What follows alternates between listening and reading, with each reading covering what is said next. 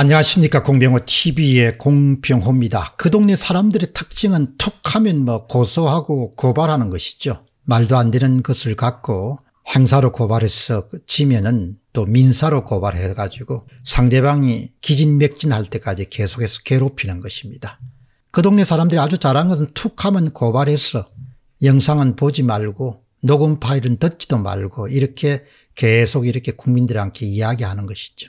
그런데 이번에는 도대체 얼마나 뼈아픈 그런 내용이 들어있는지 알 수가 없지만 아예 책이 발간되자마자 책을 판매하지 못하도록 가처분 신청을 민주당 측이 냈습니다.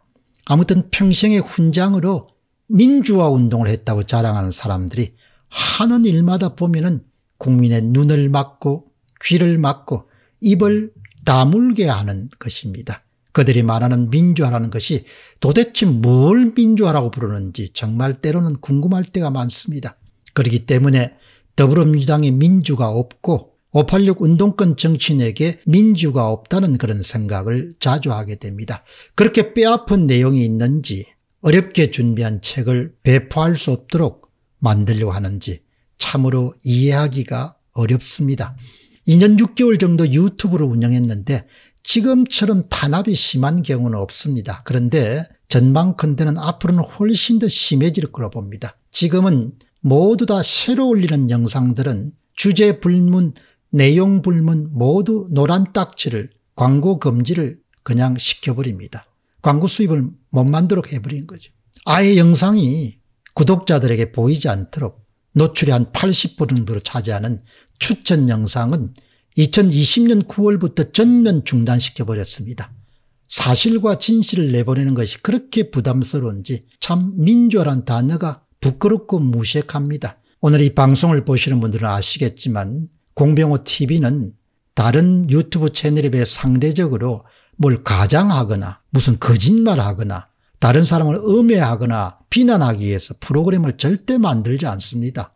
그냥 알려야 될 사실, 진실, 이런 부분들을 중심으로 해서 대단히 절제된 언어를 사용하기 때문에 이렇게 탄압을 해가지고는 어떻게 되겠냐 이야기죠. 그런데 이재명 씨가 등장하면 또 이 세상이 얼마나 험하게지게 될지 눈, 귀, 입은 물론이고 다음에 또 코까지 막진 않을지 그렇게 걱정이 됩니다. 이른바 이재명 저격수로 알려진 장영하 변호사가 쓴 책이 이번에 굿바이 이재명입니다. 그런데 장영하 변호사란 분이 정말 녹록하지 않은 분처럼 보입니다. 눈매가 보통이 아니고 보통 의협심이 없으면 어떻게 미래의 권력에 대해서 감히 대드는 일을 할 수 있겠습니까? 이런 면에서 보면 정말 대단한 분이다 이렇게 생각이 됩니다. 더불어민주당은 이재명 대선 후보와 돌아가신 친형 이재선 회계사 사이의 갈등을 다룬 책을 판매하지 못하게 해달라는 그런 가처분 소송을 법원에 12월 22일에 신청했습니다. 최근 아마 12월 23일부터 온라인에 판매되는 것으로 알고 있습니다. 독자가 읽고 판단하면 되지 왜 더불어민주당이 나서서 독자들을 대신해 가지고 읽어야 되는지 말아야 될 것인지를 그렇게 결정해 달라는 건지 납득할 수가 없습니다.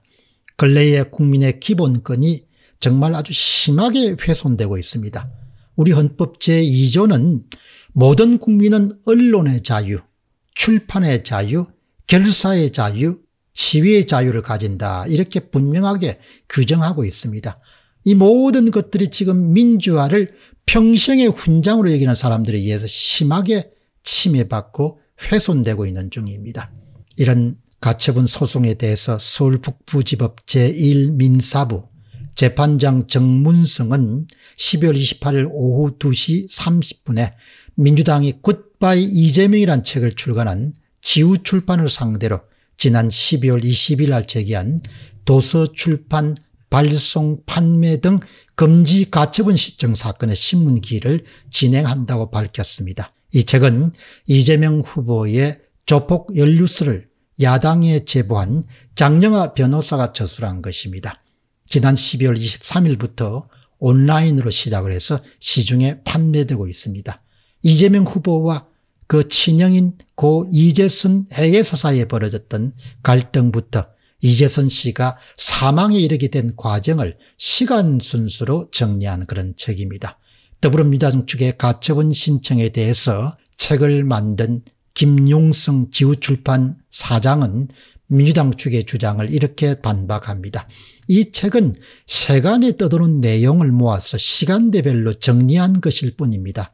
오히려 이재선 씨의 사망 시점 등 잘못 알려진 내용을 바로잡아서 국민들에게 올바른 사실을 전하는 순수한 취지로 만들어졌지 특정 후보자를 비방하거나 선거에 영향을 미치기 위해서 만들어진 책은 아닙니다. 민주당이 헌법에 보장된 출판권을 무시하고 국민의 알 권리를 박탈하려고 한다면 그것은 바로 민주당에게도 큰 마이너스 요인이 될 것입니다.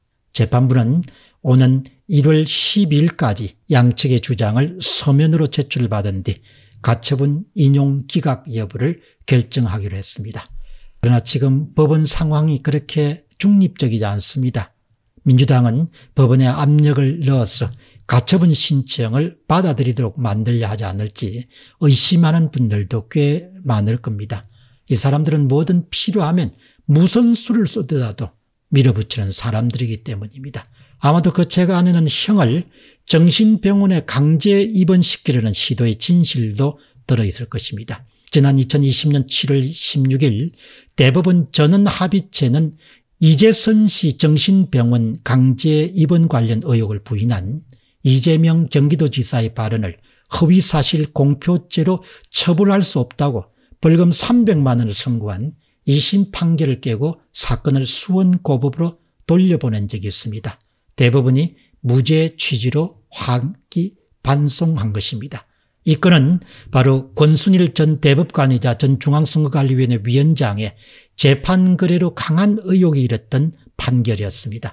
화천대유의 김만배 사장이 대법관실을 제가 기억하기로는 8번 정도 들락늘락 끌었던 그런 사실이 확인된 바가 있습니다. 그렇기 때문에 정말 전 부장판사를 지냈던 김 판사 같은 경우는 재판거래 의혹을 강하게 제기합니다. 당시에 문제가 됐던 허위사실 공표 혐의는 바로 이재명 경기지사의 정치 생명을 되찾게 만들었습니다.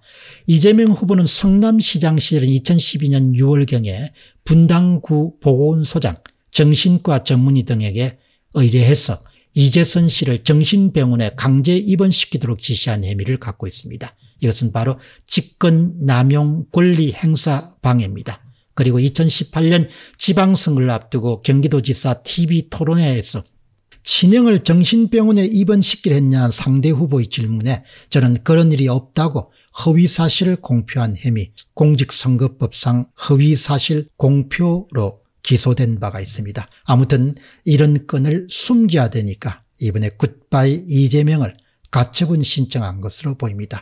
이 사건과 관련해서 이재명 후보가 그의 형인 이재선 회계사 부인이자 형수인 박인복 씨에게 도저히 인간이면 입에 담을 수 없는 욕설을 퍼붓는 11분짜리 녹음 파일을 보신 분들이 아마 이 방송을 보신 분들 가운데 꽤 많으실 것으로 봅니다.